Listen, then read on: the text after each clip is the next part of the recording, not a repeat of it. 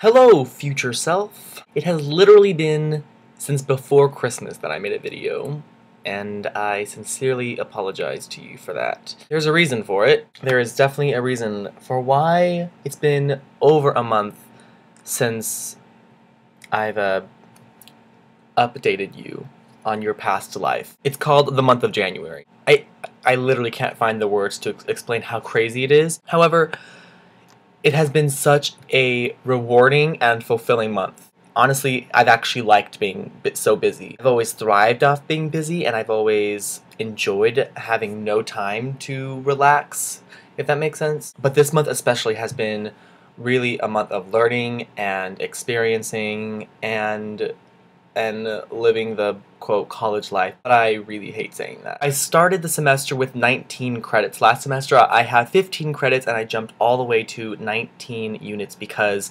well, I'm crazy. However, I'm at 18 credits now because I had to drop the TAP class that I was so lost in. I went two times and I thought, no way, sorry, not doing it. I, I, I didn't do it. I couldn't do it. So now I'm at 18 credits, which is still a lot, but I'm managing and I'm surviving and I have time to make this video, so I'm obviously not drowning in busyness. Something that is so exciting is that we started this month touring our encore show, the freshman show. We've toured it three times, but we've only been to two locations. We went to down to Green Valley, which is about 45 minutes away from Tucson, and we performed there for a different clubs. And then yesterday we went to, I am not kidding, we went to a RV community was it was crazy. It was, but it was cool, it, and they were the best audience we've ever had, and it was it was a lot of fun. The freshman class, musical theater and acting, went from 20 people last semester down to 18. Musical theater class went from five girls to five boys. Now we have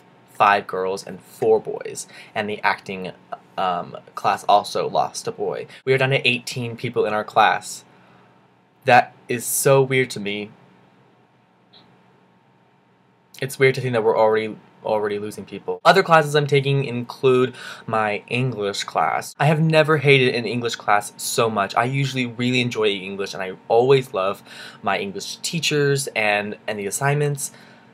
This semester, not so much. I'm taking an LGBTQ class as well, talks about the history of sex and gender and sexuality, which is pretty interesting. Our professor's really cool and my TA is really nice. And then acting acting is a challenge. I'm I'm excited to learn and I'm excited to do more, but it is definitely a step up from from last semester. We have five required readings that we're supposed to read, which include the classic Streetcar Named Desire, the other classic, Angels in America. This is both parts, but we're only required to read the first part. However, there is a second part in here that I'm going to read. I did see it. I saw this. I saw part two when I was about 16, I think. I, I was 16, and I knew nothing of this show and I went in and I was so confused. Now I appreciate it, and now it's a it's a really a beautiful work of art. Closer, Almost Maine, and The Optimist. And then of course I have Voice and Movement and my voice class where we're singing and all that good fun stuff. I switched out of tap, but I did go into